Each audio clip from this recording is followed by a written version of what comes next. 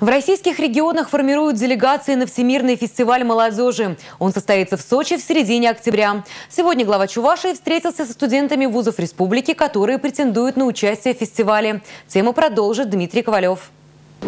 Стать участником Всемирного фестиваля – их заветная мечта. Студентке ЧГУ Татьяне Григорьевой удалось пройти предварительный отбор. Девушка уже изучает программу. В состав чувашской делегации войдут те, кто отличился в учебе, спорте и общественной деятельности. Сегодня шансы Татьяны увеличились. Ей вручили свидетельство о назначении стипендии главы региона. Каждый из студентов, каждый из молодежи хочет отправиться на этот фестиваль, потому что в первую очередь это для нас огромная возможность для нашего развития. А, мы можем развить свои способности, свои творческие способности или же а, спортивные.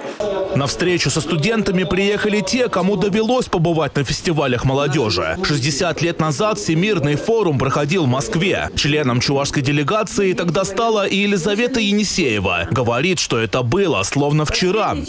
Каждая делегация приветствовала гостей и участников фестиваля словами «Мир и дружба».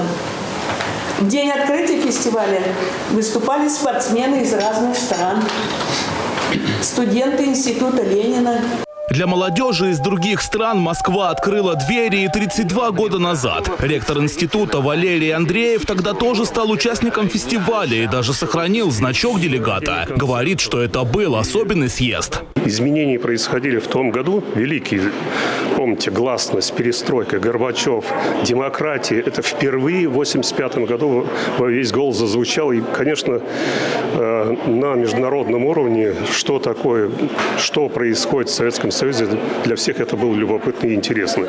На Всемирный молодежный фестиваль в Сочи из Чувашской республики отправится более ста человек. Уже известно, что послом региона станет депутат Госдумы Алена Аршинова.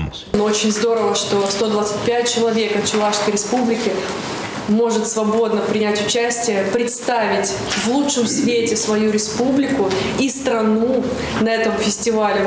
Конечно, это исторические события будет для вас, для всех, кто на самом деле участвует, выиграет. Где-то 100, наверное, 30 стран там мира будет, участников, насколько там вчера прошла, проходила информация, уже не чуть ли около 12 тысяч.